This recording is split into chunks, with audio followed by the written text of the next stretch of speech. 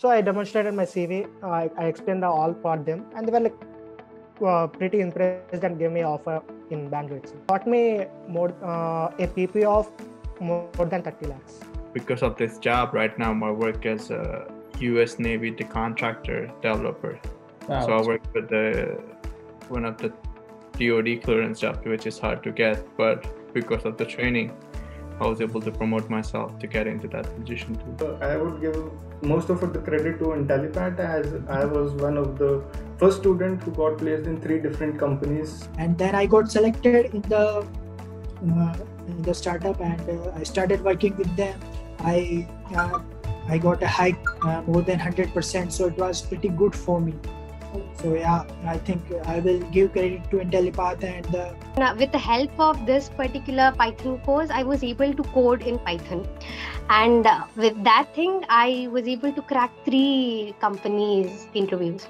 One was Infosys, another one was Accenture, and then later one, uh, another one was Clarivate Analytics. got the first mail uh, from the Intip- Intellipaat uh, career transition team that uh, your resume has been shortlisted uh, for from Tanko Solutions, and then I have uh, given the interview rounds and all, and now I have got a job. I got the job in the GS Associated as a big data engineer based on the big data course I offered from the Intellipaat 30 and got 100% increment hike after getting the first job. It helped me very lot for my uh, career growth in the big data.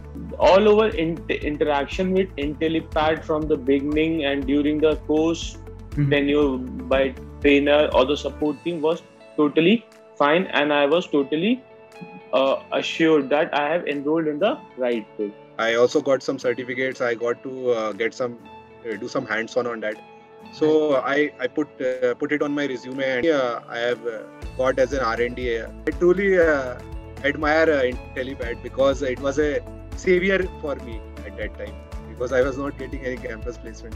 Six months i also got promotion that was around 70% I have two motives to take this course. The first one is to learn the new skill set in the cloud with certification, and the other is placement, which I achieved over here.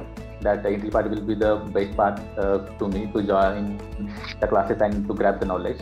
So it can be help me to grab the job as a fresher. As a fresher, it's a 4.5 LPA